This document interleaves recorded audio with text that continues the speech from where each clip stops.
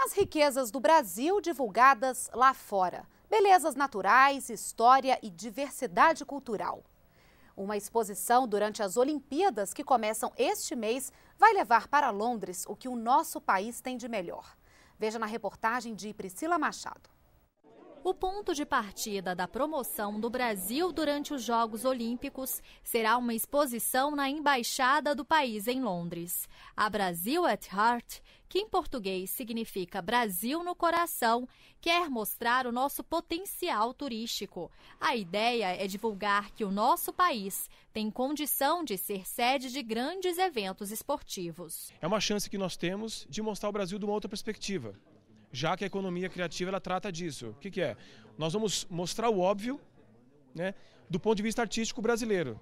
Então, assim, isso permeia é, é, setores como gastronomia, arquitetura, natureza, pontos turísticos, que tem um público muito, muito, muito, muito fidedigno. O brasileiro é o segundo turista do mundo em gastos. Mais do que nós gastam apenas, gastavam até um pouco antes. Os chineses.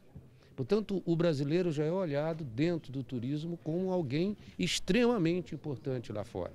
Então, nós precisamos aproveitar todo esse conjunto de coisas favoráveis e transformar numa política definitiva para, após os eventos, a gente ter ocupação de hotéis, número de visitantes, enfim, manter o turismo como a grande atividade econômica do país. Com a exposição, os ingleses e todos que estiverem no país para assistir às Olimpíadas vão também poder conhecer um pouco sobre as 12 cidades brasileiras que vão receber jogos da Copa do Mundo de 2014. Brasília, por exemplo, é uma delas.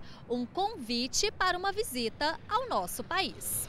Além da exposição, o Brasil também vai lançar em Londres uma nova campanha para promover o país no exterior. O slogan será: O mundo se encontra no Brasil, venha celebrar a vida. A ação vai custar 50 milhões de reais e será divulgada em mais de 100 países. Nós vamos fazer em Londres agora anúncios em jornais, revistas, TVs, vamos ter aproximadamente mil peças de mobiliário urbano, entre ônibus, táxis e para, pontos de ônibus, é, de, é, permitindo que o, os turistas que visitarão Londres possam já conhecer mais o Brasil.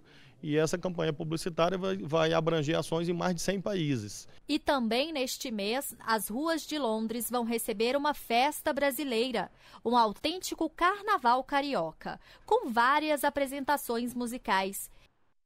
Segundo a Embratur, no ano passado, o Brasil recebeu cerca de 5 milhões e meio de turistas. Até 2016, a meta é dobrar esse número. Hoje, o setor do turismo injeta na economia cerca de 7 bilhões de dólares todos os anos.